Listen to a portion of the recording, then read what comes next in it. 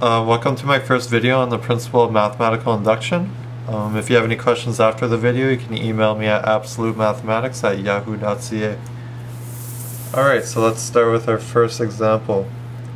And it says, show that Pn is true for, looks like fun, for n greater or equal to 0. And Pn is 1 plus 2 plus 3 plus dot dot dot plus n equals n times n plus 1 divided by 2. So all mathematical induction is, is that it's a way of proving that a math mathematical proposition, in our case Pn, or statement, is true in a mathematical way. So every time you do this, there's going to be three steps. You're going to have the first step, which you verify, second step, you assume, and the third step, where you prove that your thing is true. So let's start with the first one. So the first one, all you're going to do is you're going to pick an integer that is within the restriction, in our case n is equal is greater or equal to 0, and you're going to plug it into our proposition or statement and verify that it's true. So we're going to verify that Pn is true when n is equal to 1. So let's do that. So n of, I mean p1 is 1 equal to, and then you're just going to replace n with 1. So 1 times 1 plus 1 over 2. And you can see that 1, 1 plus 1 is 2, times 1 is 2, divided by 2 is 1. So the left hand side equals the right hand side, so this is true. We just verified if it was true. Now, if it didn't equal, if both sides didn't equal each other, then you could stop right there and you could say, okay, well, this isn't true, then the whole statement isn't true, and you would stop right there. But obviously, your teacher isn't going to make it that easy for you, so you're going to have to continue to the next step. So, your next step is that you're going to have to assume something.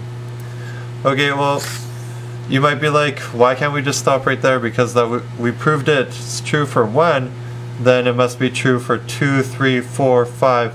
Well, you're just assuming that.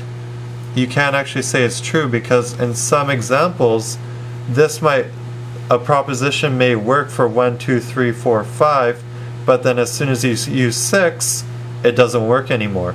So that's why you have to go through all these steps to make sure that doesn't happen.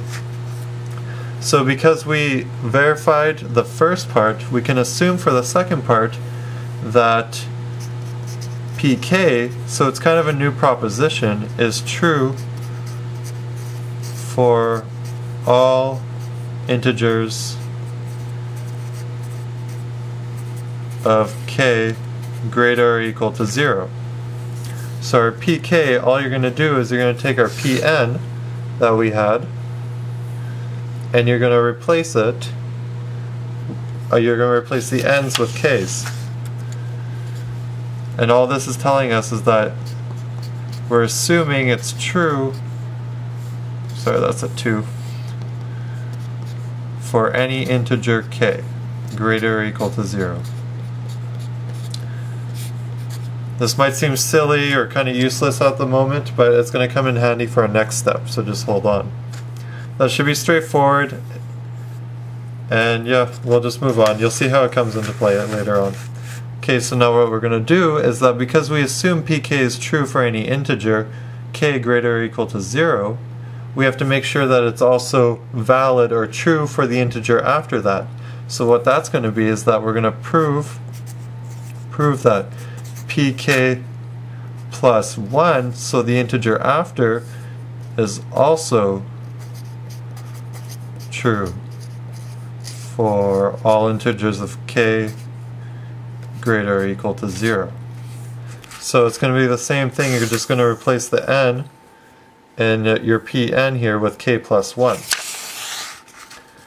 So your pk plus 1 is going to be 1 plus 2 plus 3 plus dot dot dot plus k plus 1 is equal to k plus 1 times k plus 1 plus 1, remember there's the plus 1 there, divided by 2. Now you have to you have to be careful here because if you don't catch this part you won't be able to continue. But you have the term k plus 1 here. Well each term goes up by 1 so if you wanted the term before 3 you would do minus 1 which is 2 and the term before 2 minus 1 gives you 1. So same thing here when you have k plus 1 if you want the term before you just do minus 1 and k plus 1 minus 1 will just give you k. So we're going to write that in. You're going to see why in just a second. So 1 plus 2 plus 3 plus dot dot dot plus k plus this term here, k plus 1, is equal to the right hand side, I'm not really going to touch, except I'm going to put these two ones together, so k plus 2 over 2. So this is what we have so far, and I hope it makes up sense up to this part. Just gonna get a new paper.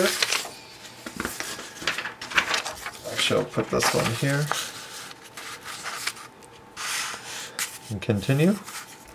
Okay, so now what you have to notice actually, actually before I introduce a new paper, is that we can't do anything else with this expression or this equation because we have this dot dot dot here and we don't actually know what that represents. So we have to somehow get rid of this so that we can continue evaluating to see if our left hand side equals our right hand side to prove that it does work. So what what we can do actually is that we can go back to our pk and we notice that we have this series of terms right here and we also have it right here. So because these are equal to each other we can make this part of pk plus 1 equal to this part of pk. So we're going to put that in right here.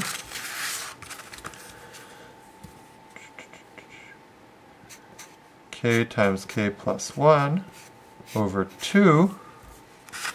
Now remember, you still have this k plus 1 term here, so don't get rid of that. You have to make sure you add on to that. And then the right hand side is exactly the same. We haven't touched it yet.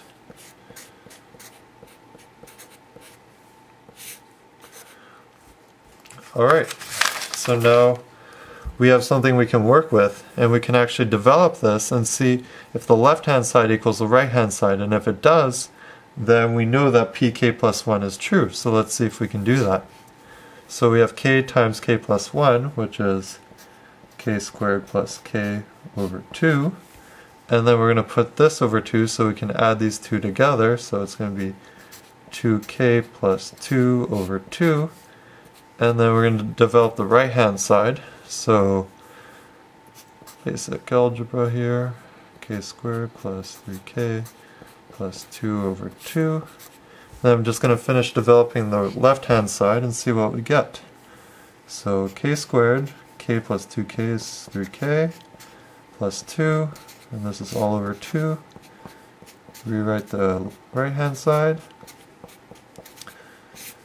And we get exactly the same thing on the right hand side. So you can see that your left hand side is equal to your right hand side.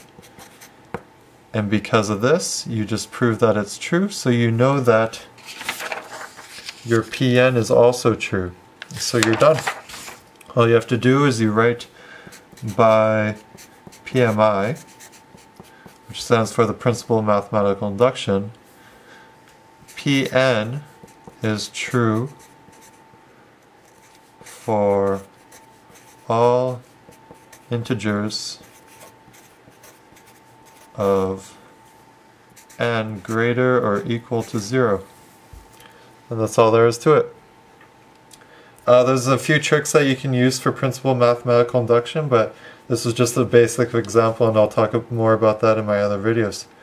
Alright, thanks for watching. Remember, if you have any questions, uh, just send me an email at absolutemathematics at yahoo.ca. Thanks.